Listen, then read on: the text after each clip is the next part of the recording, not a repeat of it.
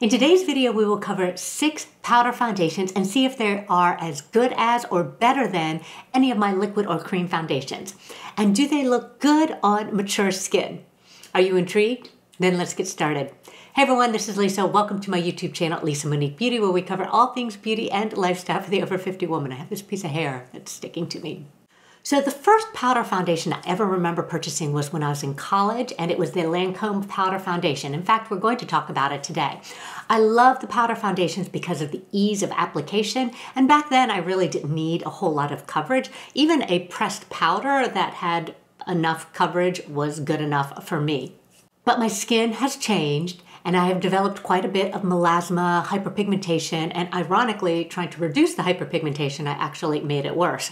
So I didn't think powder foundations would have enough coverage for what I am looking for now with my over 50 skin. But a trip down memory lane to the Lancome counter with a college girlfriend uh, had me trying the powder foundations again, and I ended up purchasing quite a few over the last few years, and that's what we're going to talk about today. So, first, it's really important to prep your skin with powder foundation more so than any other type of foundation because the powders can stick to parts of your face that are too oily and also parts that are too dry. So you do want to exfoliate and you do want to moisturize really well. And sometimes I will even use a primer before I put on my powder foundations just to kind of fill out my pores a little bit more. And then there are quite a few brushes that I have here and I actually use a different brush for the different types of powder foundations that I have. And in this demonstration today, I'm going to use the same brush, but let me just talk to you a little bit about. So the first brush is this real fluffy, dense brush. This has a lot of bristles. This is the Bare Minerals brush, and I do use it for the Bare Minerals or the loose mineral foundations. Now, for palette foundations, I usually I will either use this brush or I will just use a big powder brush. This isn't a giant powder brush, but this is a nice size powder brush and it does give me good coverage. And then if I'm looking for a little more coverage, then I will use a denser brush. Like this one is a, oh, this is Makeup by Mascara which is now Saint Beauty, but I think It Cosmetics has a dual-ended brush like this. So this is a foundation brush and it's good for cream foundations and it's also really good, I think, for the powder foundations because it's denser, so it picks up more pigment and is really good for buffing it out. Uh, you could also use a kabuki brush. A lot of the powder foundations and recommend using a kabuki brush. This is the e.l.f. kabuki brush. Oh, and I didn't say this was a Wayne, did I say this was a Wayne Goss uh, powder brush? Yeah, so this is the e.l.f. Kabuki brush, and this one's really good for traveling, and I can just use it with a compact, and it does a really good job. But for today's video, I'm not using any of these. I don't know why I picked this brush, though it does work very well because I've actually never really applied my powder foundations with this brush until I was doing the filming for this video. And that is my Shiseido, it's a little kabuki brush and the reason why I had picked it was because it has really short, dense bristles, a little bit more like this brush.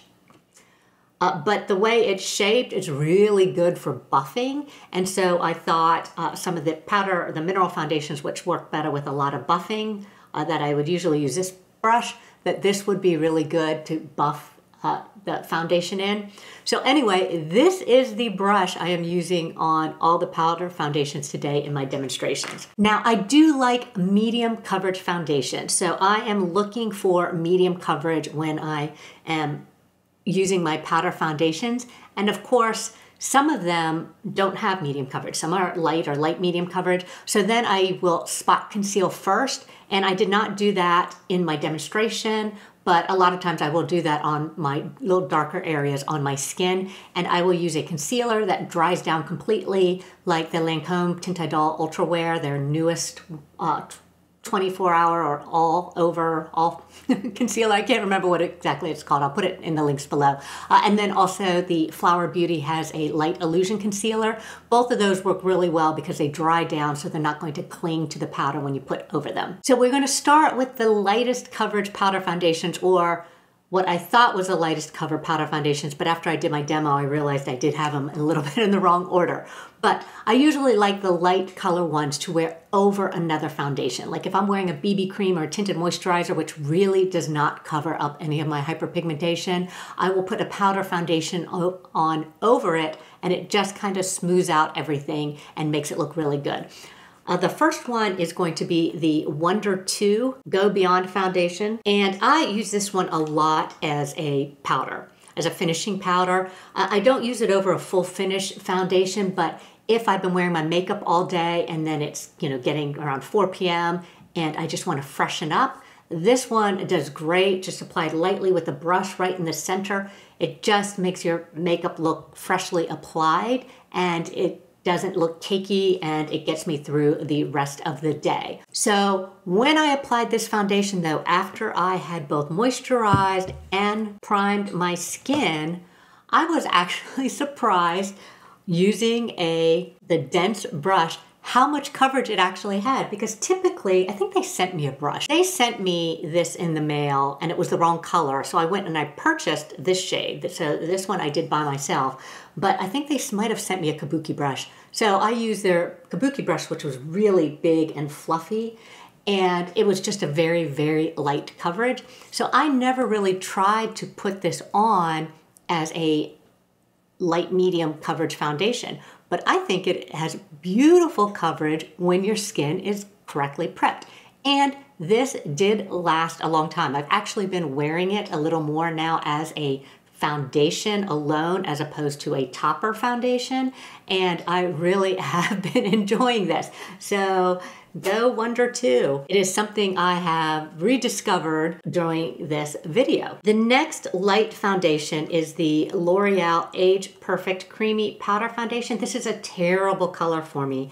And when I did my demo, I made the mistake of not tapping it out or not starting in the jawline, and I put a really big dark spot right in the center. I did find it hard to buff out. And so a lot of powder foundations, if you put a little bit too much on or you get like a dark blotchy spot, you can just kind of wipe off the excess on a towel and then kind of rebuff it out and redistribute the foundation. But this one I felt kept really dark in the center. Now I do have my darkest hyperpigmentation, you know, in that area that I put the foundation down, but as I was trying to buff it out and then trying to make it a little bit darker on the edge, I really just did not find the coverage I was looking for with this foundation. Again, it's not one that I would wear because the color is so bad, but I was not really overly impressed with the amount of coverage either. Okay, the next two I thought were going to be my medium coverage foundations or light medium coverage foundations. Uh, the first is the Lancome foundation. So when I first started using this again, I was using it with a puff and it had pretty good coverage, but when I looked closely, I could see it sitting on all my hairs. Oh, I forgot to say, prepping your skin. You should shave your face if you don't do so already with powder foundations. It makes the world of difference because you don't get foundation sitting on all those little baby hairs or that little peach fuzz.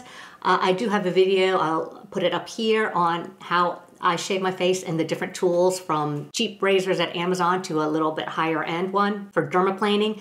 Anyways, so I felt this one just really kind of sat on my face, but then when I was trying to use it and just buffing it into my skin, uh, after I had shaved my face, I found it was the one that made my face look the driest. I, I did feel like this kind of sucked out the moisture in my skin a little bit. Uh, the coverage was nice, and sometimes I'll just use it pat on my nose, but overall, I did not like using it around this area because I thought it just looked dry. So that was my experience now with Lancome, my former favorite from 30 something years ago is not really on my favorite list anymore. But one foundation that I newly discovered, it was actually hard for me to find because I guess it's kind of one of those trending foundations uh, on TikTok or was a few months ago, and that is the L'Oreal Infallible 24 Hour Fresh Wear Foundation. This one has a lot of coverage. This had definite medium coverage. It really went on soft and smooth. Uh, it's really blendable. I love the feel of it. It is a very matte foundation though. So I did feel that my skin was almost too even. I, I didn't have any depth in it. Now, you can change all that with contour, blush, all those other things. So this is really good base if that's what you're looking for. I did think while I was uh, filming the demonstrations that I wonder how it would work if I put on something like the Hollywood Flawless Filter. And I guess Maybelline just came out with a four in one foundation that's supposed to be like the Hollywood Flawless Filter. I haven't tried it yet. But I was wondering if having that kind of glow filter primer beforehand, before you put on something matte like this, if it would shine through and give just a little bit of dimension. Again, this is really great coverage. It is an all day coverage. So uh, if you're looking for a drugstore foundation, this one is definitely one to try if you can find it. I went to every drugstore, Walmart, Target around, and they would have the lightest color and the darkest color, and they wouldn't have any of the shades in the middle. And then I ordered it on Amazon and it came broken. And then I ordered it on Walmart.com and finally got the right shade. Uh, but it was definitely something I had to hunt for. Okay, now we're getting to my two fuller coverage foundations. These are the mineral foundations. And I don't know if just by nature being the mineral foundation, and when you really buff it in, the mineral foundations are supposed to meld with your skin. They are the most skin like of all the foundations. And so I really, really do love them. These are the ones that I typically wear uh, day to day. The first is the Laura Geller. And I just did a video last week on this. I'll put it up here. It is super skin-like. Now, when I did that video, I didn't have my correct shade, but I since on walmart.com ordered my correct shade in sand.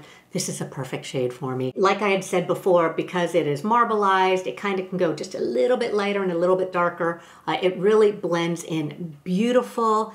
It is a light medium coverage though. I tried to build it up several times, not in this demonstration, but uh, in my last video, I, I think I did up to three layers and it had pretty good coverage, but you still could see my hyperpigmentation through. So if you're looking for that flawless finish or flawless look, you definitely want to cover those darker spots before you start with the foundation and the foundation goes over beautifully. You can't tell that I had concealer covering spots on underneath uh, so it works really really well. I've not tried concealer over this because after you do blend it in I mean it really doesn't look like you have powder on your skin so I, I think you probably could actually use a little bit of concealer over it.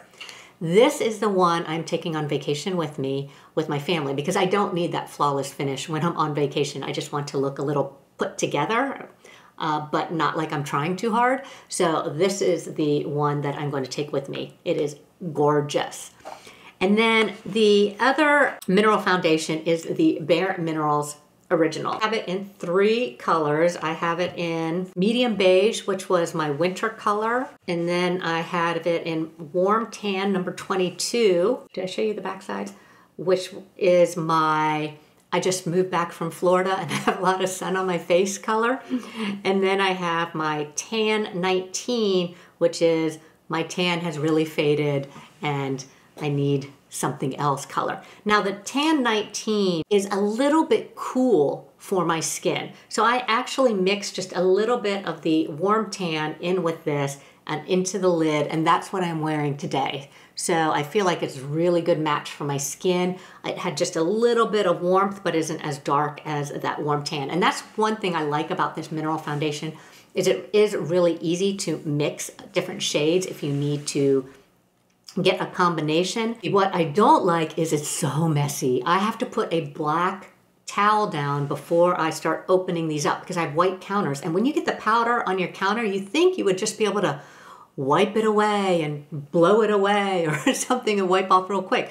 But you can't because as you start to wipe, it emulsifies and becomes almost like a liquid or cream foundation that you actually have to use a soap or a cleanser to get off on to get off your counter. So I have a bunch of black uh, hand towels and I use them obviously when I'm doing my makeup and everything. I have one laying on my desk right in front of me now and I also have one in my bathroom. So this product is gorgeous and it is full coverage. So I do not have any concealer on and it is covers up my hyperpigmentation, not completely because some of the spots are just way too dark, but it gives me this nice, even, flawless finish. This is the finish that I like when I'm filming YouTube videos. And so it is easy though to use too much of this foundation. So I'm going to demonstrate putting on too much. And you can see it almost turns metallically. I think of like the Tin Man in Wizard of Oz, the silver uh, on their face. You get that kind of metallic undertone or, I or overtone when you apply too much. So if you get to that point, you can actually wipe it off with a little soft towel. Uh, I just used this black towel in front of me uh, to wipe it down and then without putting any more product on my brush, I managed to bring it out to a really lovely coverage. But it's best when you start just to use extremely light amounts and then build up as needed, but always putting on just very smallest layer and buffing, buffing, buffing it in. I do find I have to buff the Bare Minerals the longest, so it does take me the longest of all the foundations to apply, but I do really love the finish. Oh, I did want to add that when I am done with the powder foundations, I do like to set them. I did not set them today with a setting spray uh, because I forgot. In fact, I'll do it right now. I love this one. This is the Charlotte Tilbury Airbrush Flawless Setting Spray. It is highly fragrant. Uh, I do not like the fragrance at all, but I really love the way this sets the foundation. And if while applying your powder foundation, you find that you know you just applied it a little too heavy and it might have a little bit of powdery residue, I usually just pat it with either a sponge or even my fingers just to kind of blend it in and then you spray with a setting spray and it looks really good. But I do find that a setting spray will help your powder foundation last a lot longer. So those are my best and not so best powder foundations. I hope you found this video helpful. If so, please hit the like button and share this video with your friends. I have some more videos that I think you might like here. Thank you so much for watching and we will see you next time.